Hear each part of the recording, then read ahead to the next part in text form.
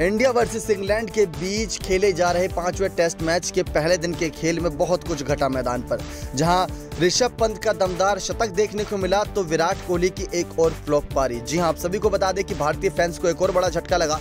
कप्तान रहे पूर्व, यहाँ पर विराट कोहली इस बार भी नाकाम रहे। विराट कोहली लंबे वक्त से खराब फॉर्म से जूझ रहे हैं।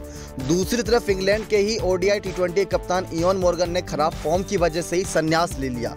विराट कोहली भी लंबे वक्त से खराब फॉर्म में है, लेकिन फैंस को उम्मीद थी कि इंग्लैंड में कोहली के रनों का सूखा खत्म होगा।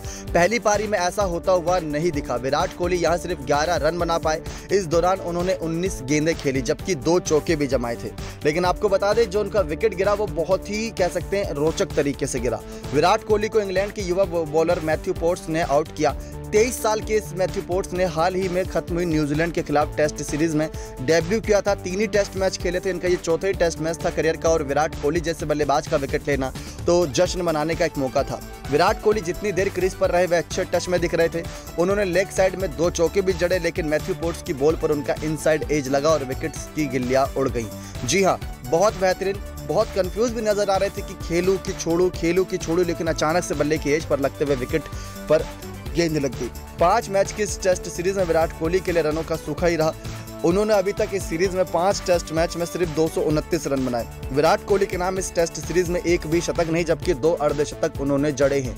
और अभी तक आपको बता दें, पिछले तीन सालों से विराट कोहली के रनों का सूखा ही चल रहा है। करीब 27 से 30 एवरेज के बीच यहाँ पर बल्लेबाजी कर रहे हैं। ये वो बल्लेबाज है जिसका तीनों फॉर्मेट में औसत 50 से ऊपर का रहता है। लेकिन मैथ्यू पोर्ट्स ने जो उनका विकेट गिराया, बहुत मुसीबत में आ चुकी है यहाँ पर टीम इंडिया। लेकिन उसके बाद ऋषभ पंत ने एक सौ ग्यारह गेंदों में एक सौ छियालीस रन की पारी और जडेजा ने एक अर्धशतकीय पारी खेलकर टीम इंडिया को मुसीबत से उबारा क्योंकि जब विराट कोहली का विकेट गिरा था तो टीम इंडिया का स्कोर इकहत्तर रन, चार विकेट के नुकसान पर था और जब सुरेश अय्यर का विकेट गिरा तो अट्ठानवे रन, पाँच विकेट के नुकसान पर था। इसके बाद का 222 रन का पार्टनरशिप करीब हुआ यहाँ पर ऋषभ पंत और जडेजा के बीच और मुकाबले वापसी कर दी टीम इंडिया ने। दूसरी तरफ़ एंडरसन ने तीन विकेट तो दो विकेट यहाँ पर मैथ्यू मैथ्यू पोर्ट ने और एक एक विकेट बैन स्टॉक और जो रूट ने चटकाई। पहले दिन की खेल की समाप्ति के बाद टीम इंडिया का स्कोर तीन रन, सात विकेट के नुकसान पर है। विराट कोहली को यहाँ पर सेकंड इनिंग में ही मौका मिलेगा, लेकिन क्या सेकंड इनिंग में विराट कोहली ऋषभ पंत की तरह खा, बिल्कुल गजब की बल्लेबाजी कर कर शतक लगा पाएँगे या नहीं? बहुत लंबे समय से इंतज़ार है और ऐसे में रोहित शर्मा, के राहुल और अजिंक्य राणे जैसे बल्लेबाजों की गैर मौजूदगी में चेतेश्वर पुजारा और विराट कोहली जैसे बल्लेबाजों की मेहनत बढ़ जाती है। पुजारा भी सिर्फ़ छियालीस गेंद में तेरह रन ही बना पाए इस मुकाबले में। नेक्स्ट नाइन स्पोर्ट्स की रिपोर्ट।